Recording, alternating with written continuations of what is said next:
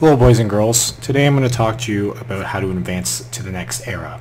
Now right now I'm in the modern era and I'm actually going to talk about how to advance into the Cold War.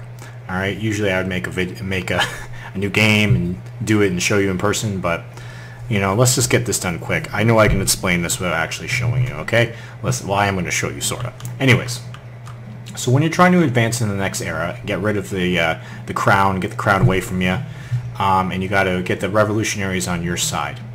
Um, now, the best way to do this is obviously do quest for them, right? And you always get quests on the side and stuff like that, and you just build nonsense and do nonsense for them. But the main thing you're probably doing wrong, and why you haven't advanced yet, if you're having a hard time, is your newspapers, all right? You all have newspapers, all right? This, and you're going to need, depending on your population, you're going to want a few of them, right? You can see the blue highlights where they are affecting. So newspaper isn't affecting this area, so realistically I should have another newspaper right there, um, and, and so far and so forth, right?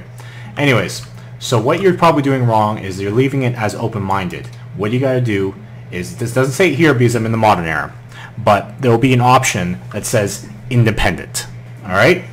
And, when, and so you want to change it to independent. Now this is a good way, if you want, to actually stay in the in the crown era and build up your money, build some few things, get yourself ready, and then when you're ready to um, advance that era, change them all to independent. It will be here, trust me, and um, and then soon after you will advance to the next era. I guarantee it.